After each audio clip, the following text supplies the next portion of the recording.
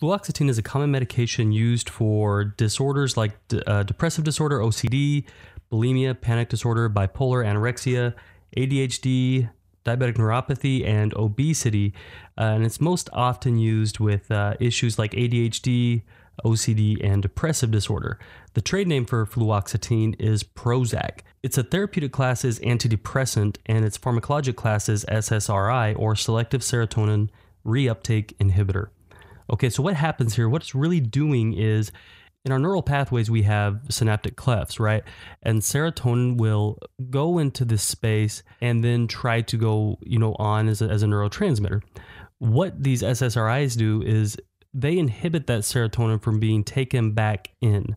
Okay, so it allows for more serotonin to reside in that synaptic cleft, and serotonin is thought to play a role in mood. Okay, so if we have more serotonin available, it should affect the mood and it should help the patient feel less depressed, um, be able to control their ADHD, and be able to control their OCD. So, this medication, like we said, is fluoxetine or Prozac.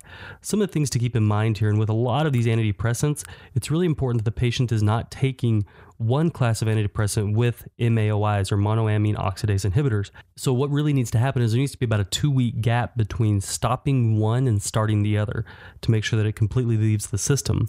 These SSRIs can actually also cause suicidal thoughts, drowsiness, anxiety, sexual dysfunction, insomnia, and palpitations. Because of these side effects, a lot of patients that begin taking these medications stop taking them.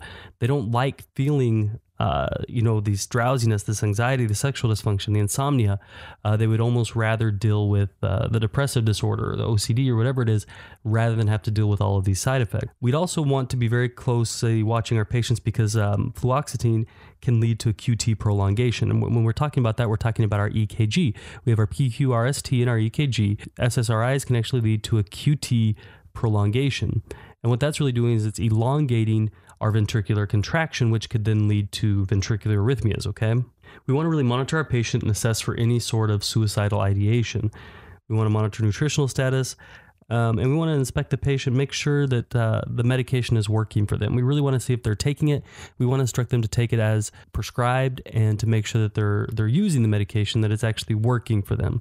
Okay, with a lot of patients who start um, antidepressants, we have to adjust the medications to find something that really works for them. So it's really important that we watch them um, and that we monitor them and we make sure it's actually working. So that is fluoxetine or Prozac. Its pharmacologic class is SSRI or selective serotonin reuptake inhibitor. This has been another episode of the Med Master podcast by NRSNG.com. To get our free cheat sheet covering the 50 most commonly prescribed medications, head over to nrsng.com slash 50meds. That's nrsng.com slash 50meds. Thank you so much for joining me today, and thank you for being part of the NRSNG family. We're here to help you succeed in nursing school and in life. So start your journey today over at nrsng.com slash 50meds. We're glad to have you aboard. You know what time it is now. It's time to go out and be your best self today. Happy nursing, y'all.